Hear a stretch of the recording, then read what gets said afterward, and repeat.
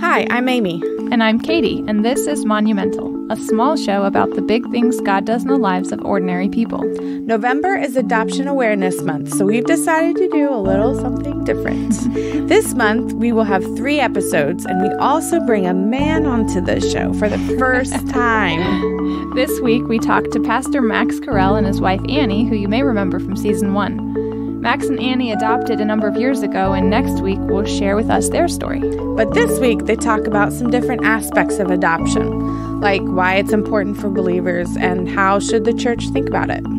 In the third episode, we'll talk to their daughter Allie about her story of being adopted and how God used that in her life for good. So, what do you think about adoption um, in terms of just a biblical concept? I mean, why adopt? Mm-hmm. You know, why Christians adopt? Well, I think people adopt. Lots of times, Christians adopt because they have a desire to care. Well, you know, the Bible talks about caring for the orphan all the time. I think Christians have a biblical mandate to take care of children and they feel that as a sense of responsibility mm-hmm. um, and as, as, a sense of uh, having love for children, for God's, for other people. We should have a sense of, and most people, even most non Christians, I think, still are a good a good uh, percentage of non Christians mm-hmm. still believe in fruitfulness. They still desire to have children. Mm-hmm. And so that's in us to see ourselves reproduced. But God says not just reproduced, mm-hmm. God says see ourselves being fruitful mm-hmm. for His glory to present um, covenant children, children of promise to Him, to raise up children. And so uh, Christians should have uh, a more intense sense of mm. raising up children to God and desiring mm. to be fruitful. Mm-hmm. But of course, today, uh, nobody even talks about fruitfulness. I mean, if uh, I mean, can you imagine in an evangelical church a pastor uh, getting up for preaching on Sunday morning and and saying, "Well, our text today is about uh, fill the earth and subdue it," and and we're we're going to look to see how God has called all of us here today to be fruitful and to have lots of children you know, you, he might say something about adoption, but that's just to you know to take care of those those those children who were accidentally born of people mm. who were fruitful. You know, right. mm-hmm. and it's it's uh, it's sad because well, it's not just sad; it's sin.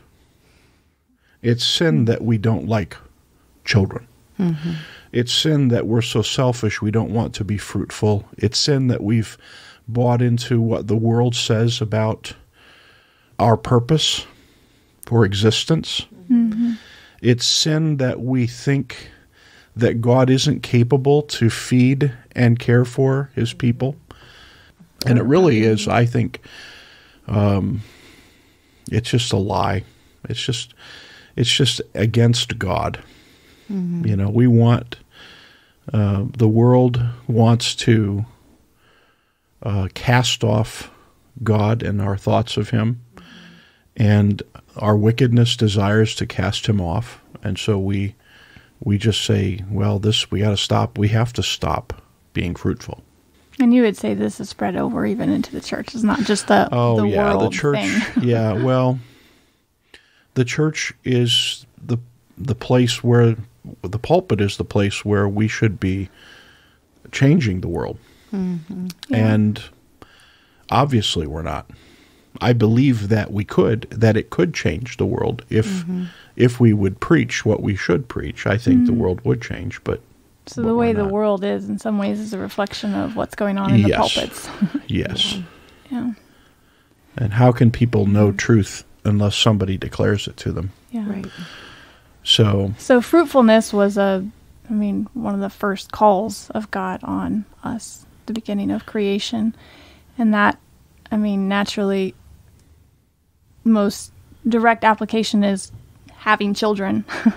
yes. But then the bearing fruit, I mean, it, it reaches further than that um, as Christians, as believers. Yes. And so you think about uh, how can adoption be Christians being fruitful? Mm-hmm. Well, aren't you loving life? Mm-hmm. I mean, isn't that what isn't that what you're doing when you adopt a child? Is you're just loving life, mm-hmm. and you become the you become the uh, the nurturer of this fruit of life. And I just look at that and I say, why isn't that fruitfulness? Mm-hmm. I'm not saying we shouldn't be fruitful with our own bodies mm-hmm. and with our own marriages, but I am saying that I believe that adoption actually is being fruitful for Christians. It is a way that we look at life and we say yes, mm-hmm. yes to life. Mm-hmm. You know, we we uh, even yes to life that uh, is born of difficulty and difficult circumstances, we say, yes, we're mm-hmm. going to see this life mm-hmm. uh, go on and make more life, right? Mm-hmm. It's not just that we're fruitful by adopting a child, we have the expectation that that child will be a servant of God, mm-hmm. and they themselves, according to His will, will present a, a holy seed to Him, mm-hmm. right? Mm-hmm. And so it's. Uh, and looking at children um, as a blessing. That's what mm. yeah. God has told us. Children mm. are a blessing, and often we don't look at them as a blessing. Um, we look at them as a burden, mm-hmm. and it's obedience. So, in, in, preparation for talking about this topic, we had you had mentioned uh, some aspects of raising um, adopted children I think there were three things that we've been talking about when we were talking earlier. And they have to do with the influences on our children. And I there somebody else could probably bring up more. But I I think of three very significant things. So the the three things that I think of are the uh, the genetics of the child. We're all born with mm-hmm genetics. Mm-hmm. The second one is the environment, and the environment is significant. And the mm-hmm. third one is the heart of the child, mm-hmm. all of our hearts, right? We all have genetics, we all have environment, we all mm-hmm. have our hearts that have to be dealt with. So it's it is true of all of us.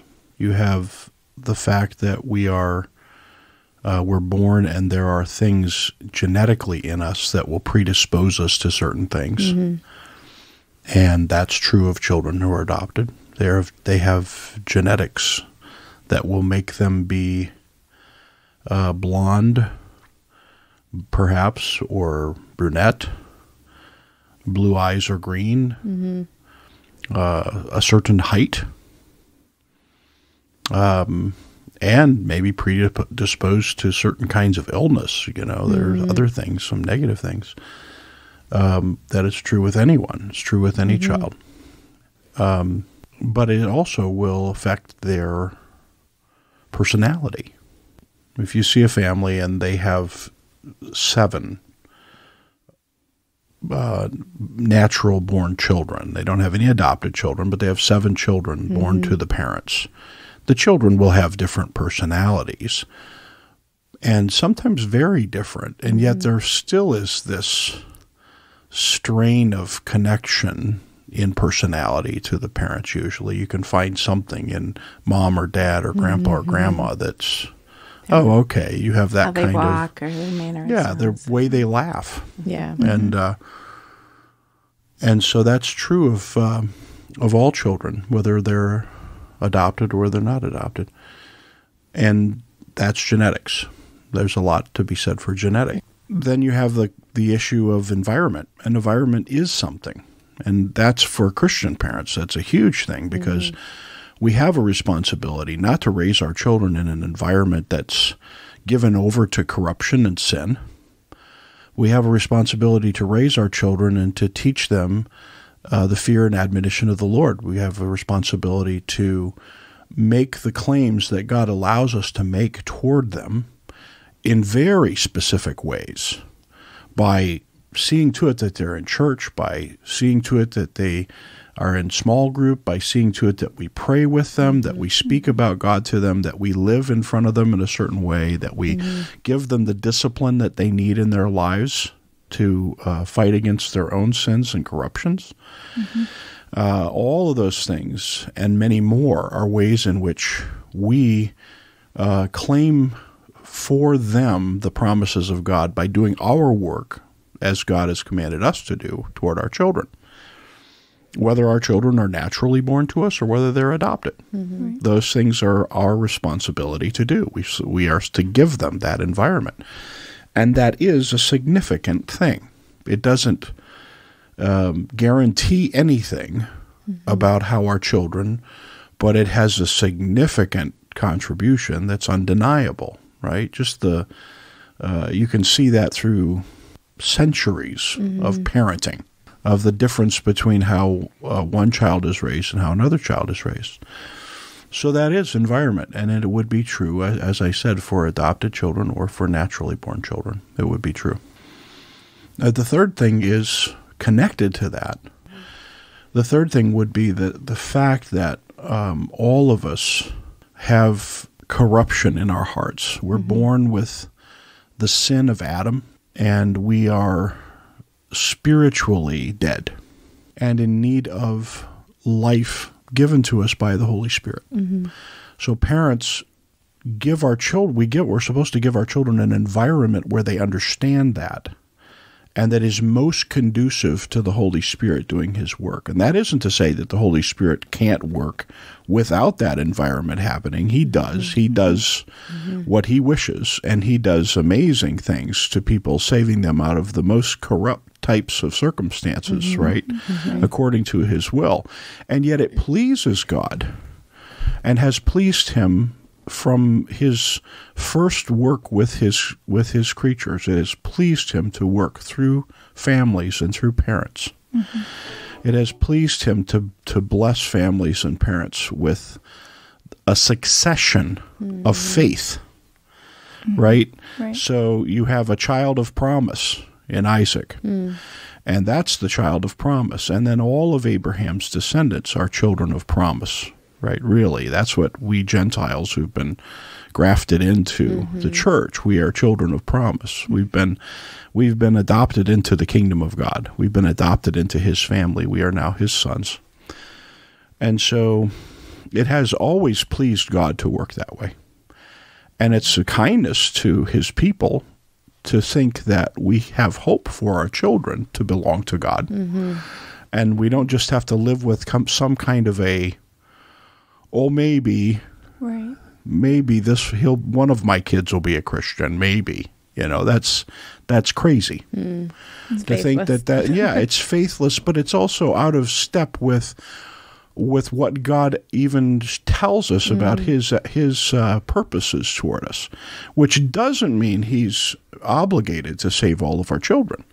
We should still plead with Him for their souls as we please plead with Him for our own. Mm right? Mm-hmm.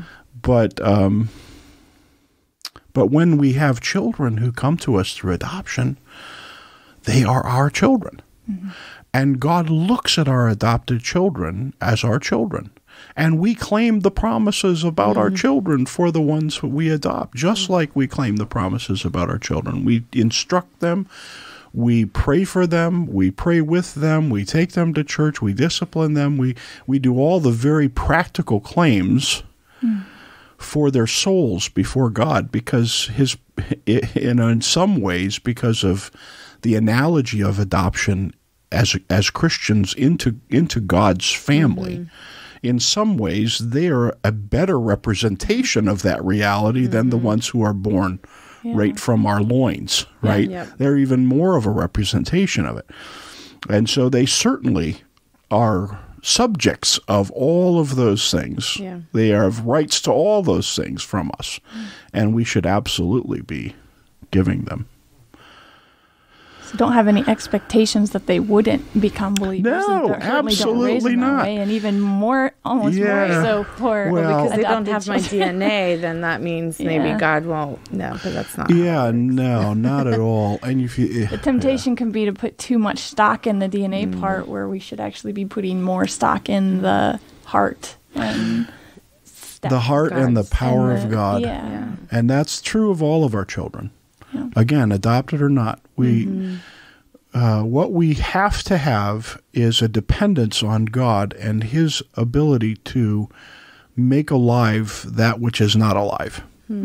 And none of us are born uh, without the sin of Adam, and none of us are born with this. You know, well, some people may say that some people are spiritually regenerate before they're born. I don't know. I'm not. I'm not going to push into that in this discussion. I just mm-hmm. re, I just I just say that the truth is no person born of man ever Without sin. Yeah. is without the sin of Adam, Right. right? And must have the Holy Spirit of God to make them alive, to regenerate them, to to quicken them to life. Mm-hmm. That they were once dead, now they're alive, and then that's all of us. Mm-hmm. If we're in Christ, that's all of us. Right. Mm-hmm. Every one of us had to, somebody, my mother, your mother, your mothers were praying, your mm-hmm. fathers praying that you would become alive by the power of the Holy Spirit so that you would be in Christ. And that's all of our children. That's what we pray for them. It's a, of necessity that they're made alive. Well, it, it almost seems like instead of treating adoptions in this kind of, I mean, there are special circumstances, but as something totally other and different, maybe what we need to actually change is our perspective of just parenting, Yes. just Oh, having yeah. children. That's true. N- not adoption, but rather, I'd say that at- that's true. at- That's a good observation eh, to put into words what you just said. I think people who have a, a commitment to good Mm-hmm. parenting have much less difficult a time Hmm. With children, whether they're adopted or not, Mm-hmm. because they just have a commitment to do mm-hmm. what parents are supposed to do. Parenting is work. Yeah. I mean, it, it requires work. Mm-hmm. And so, if that's your commitment already, yeah, mm-hmm. but if you're lazy, it doesn't matter if you adopt or they're biological. You know, if you're lazy or self seeking, guess what? it's gonna It's going to be a mess and it's going to be difficult. Well, so what happens when, what would you say to someone that has prayed this way and um, has done that, but things aren't going well in the sense of the child's not become a Christian or they've rejected the faith completely, um, or even the family? Does that mean, you know, what was the point? Well, absolutely. Uh, what was the point is the wrong thing to say. First of all, we don't know the end ever. And what do you say about those children? Well, you just keep on praying. I mean, we all know families who have a child or some children who are adults who are out in a place. And what do they do by faith? But sometimes in our church, we have families that occasionally will meet together with other families with children who are in that state of rebellion. And they will just pray for them. Hmm. And they they are all they're not giving up. Hmm. They're not saying what was the purpose of it. Hmm. And these aren't adopted kids. I think there can be fear about adoption because people think, well, they're going to struggle because they were adopted, or they mm-hmm. might rebel because of that, or you know, whatever the fears are. And but what I'm hearing you say is, that you do it the same way, either way. Yeah. And the thought I've had is, well, I've seen stories both directions, you know, where it's, Yeah. it's, uh, sure, there's some stories about adopted kids who have rebelled, but there's plenty of stories of biological children who have rebelled, you know, mm-hmm. who's to say it's mm-hmm. because of their adoption, you know, mm-hmm. maybe it was, maybe it wasn't. Yeah. But what I'm hearing you say is it doesn't, it doesn't matter. You Well, I- raise your children. I would go further same. and to say it wasn't because of their adoption they rebelled. It was because of their hearts. Yeah. And that their hearts, now that isn't to say that they don't have real ought mm-hmm. against their adoptive parents. Maybe their adoptive parents sinned against them, but then you can have that in naturally born mm-hmm. children. You right. can have parents that molest their own children. Mm-hmm. And still, that person has before God no excuse for their sin. Mm-hmm. Right. They they stand before God responsible for their lives to give an account. Mm-hmm. Okay? And so um, you you look at you think about it, uh, and I don't mean I'm not really contradicting you, Katie. I don't I don't think this is what you're really saying. You weren't saying that they have an excuse, right. but I wanted no. to put the point out mm-hmm. or make it the point that the that the children who are adopted, they can't stand before God and say, "But I was adopted." Mm-hmm. Right, right, right. Mm-hmm. They have the same problem as everybody else. Yep. Everybody else has another thing that they might want to trot out as their reason for mm-hmm. why it's okay for them to have mm-hmm. been rebellious. But in the end, it's all of us just trying to put off responsibility on somebody else mm-hmm. or some other thing in our lives, mm-hmm. some other circumstance, and rather than mm-hmm. rather than claiming the responsibility for mm-hmm. ourselves, it's it's our hearts that are wicked, right? And that isn't to say people don't sin against us; they do. Right, mm-hmm. right. But our hearts are wicked. In the end, we're responsible mm-hmm. before God. Yeah. Yeah. I remember before we had Kimmy, we found out we could get pregnant. After we got Allie, we found out there was a good chance that I could get pregnant. Mm-hmm. So we were debating on whether to even do that, to get pregnant again, because mm-hmm. Allie would be the middle child. She would be the adopted child and the middle child middle child syndrome. Yeah, the whole middle child struggles that mm-hmm. they have. And I remember we even talked to a friend of ours who's a psychologist, and he said, Well, yes, you should have another child. If you can have another child, go mm-hmm. for it. Um, so I, I just thought, well, yeah, he's right. But it was just kind of funny how he looked at it mm. like this adopted child, can they handle this, you mm, know? Yeah. And that was the wrong way to look at it. Mm-hmm. This ado- adopted child is going to go through struggles and, you know, go through difficulties just like any child. Mm-hmm. Yeah. And yes, go have another baby. you can have another baby. Um, I've been thinking about that, mm-hmm. like these two big pictures that the Bible gives us about God is our Father and adopting us as His sons and then you have this picture of Christ loving the church and laying himself down for her, and how marriage is the example of that. And marriage is not bad, although people blame marriage itself being bad, and so that's why I didn't get married, or my parents were divorced, and so that it, it's just marriage. It's marriage's fault. Well, adoption can go bad. quotations bad, right? But the picture of actually adoption is beautiful and and what God does by making us his sons and then the same with marriage. Marriage is beautiful. It can go wrong. Sin will ruin it. But adoption is not bad. Marriage is not bad. It's good. It's good. It's good. Yeah. Hmm. True. Yes. With both of those things, it's interesting. You can hear people's focus be the well the fears mm-hmm. you know the negative things they've heard about it yeah. and mm-hmm. and that can often be the cautions mm-hmm. you know when you say well, i'm getting married or i'm going to adopt you know mm-hmm. you're met with caution mm-hmm. um, can, there's so easily fear of suffering that even christians so mm-hmm. easily get caught up in i mean you know or fear of sanctification maybe yeah well and mm-hmm.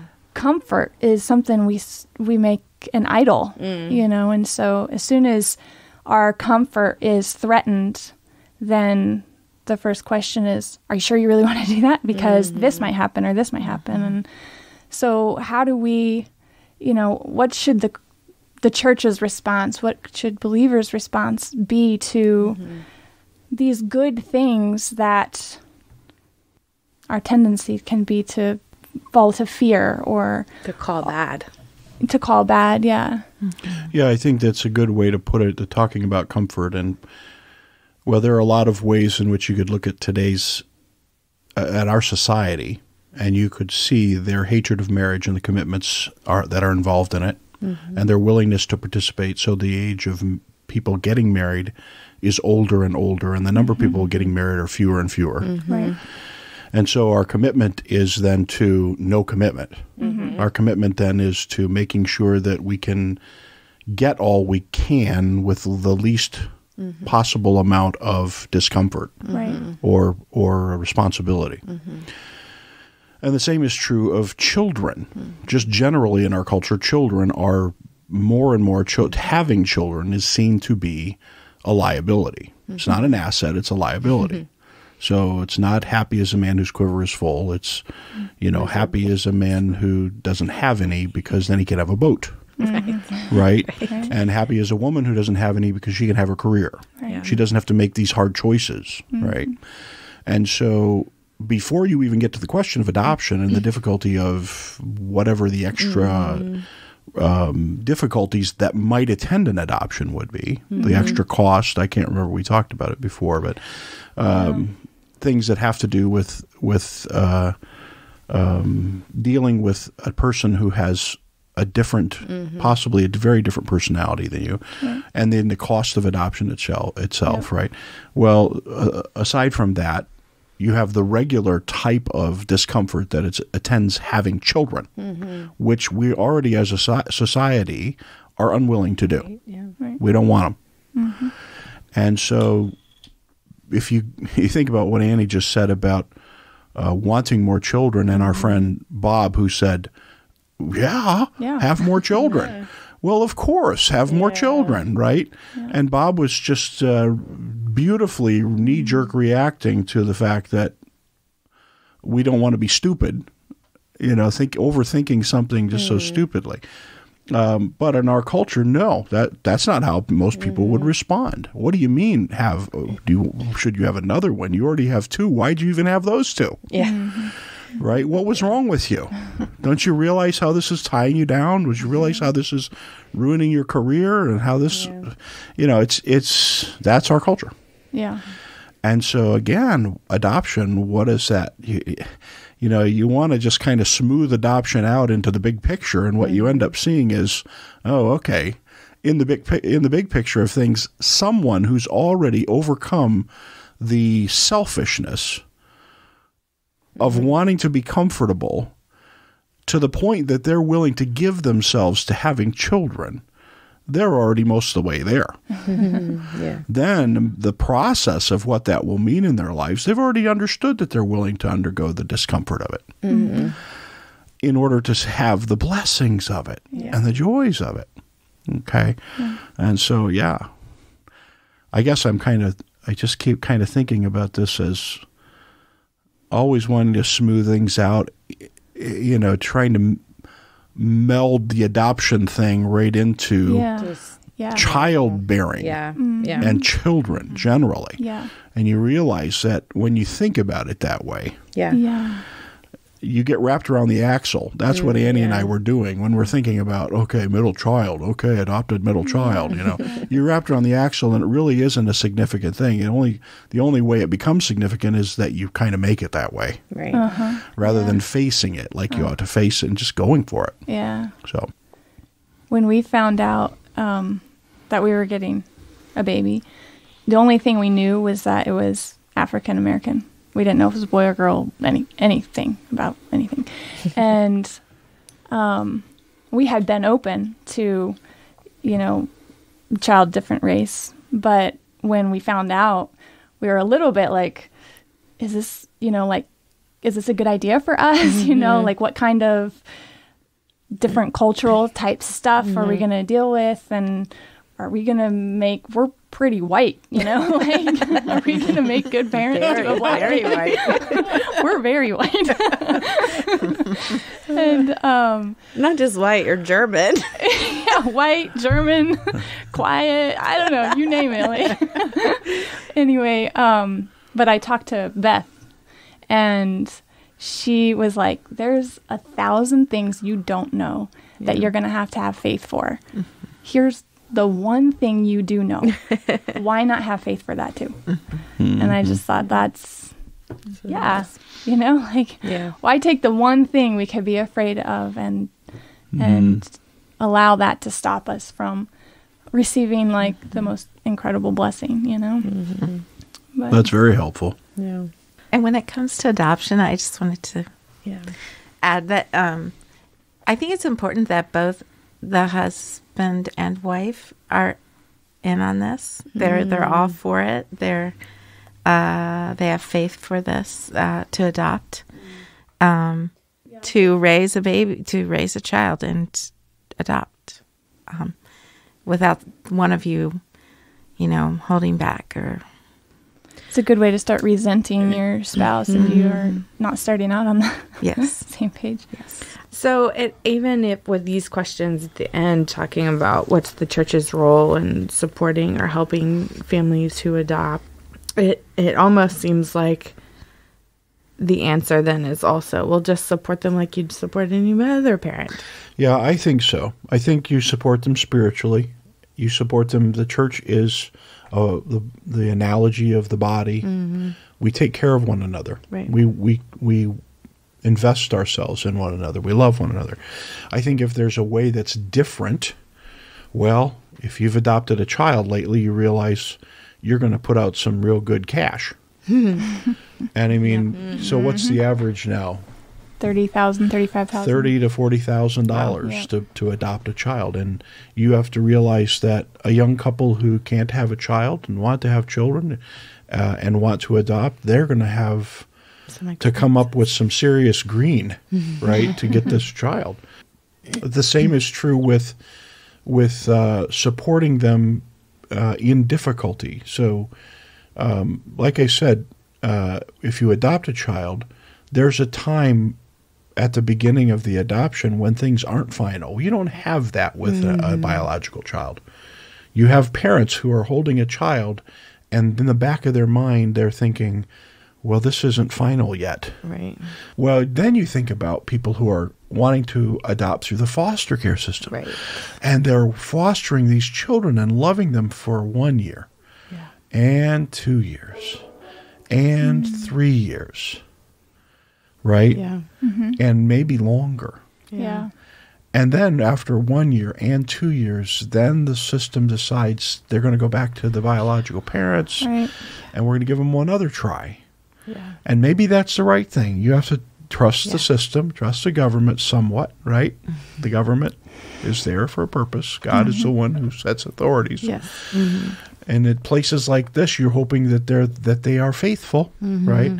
But they go back to the parents, the biological parents, and then you've loved those kids for two years, and yeah. you're just you've invested in them, you've taken them to church, you've tried to catechize them, you've prayed for their souls, and there they went.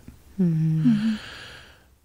And I think that's another place the church, the body of Christ, can say, "We're with you. We're praying with you." Mm-hmm.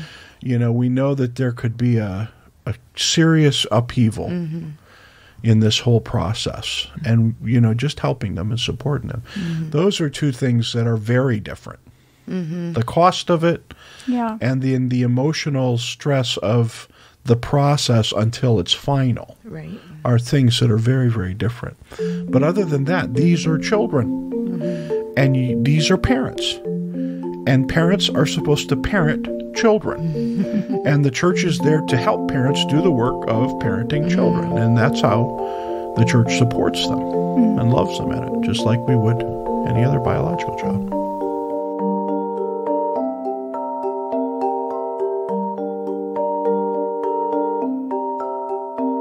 Monumental is hosted by Katie Walker and Amy Molina. It is produced and edited by Katie Walker, and it is executive produced by Nathan Alberson and Jake Menzel. If you like the show, please don't forget to rate and review in the app of your choice. And if you're interested in more great content, including articles and other podcasts, please visit warhornmedia.com.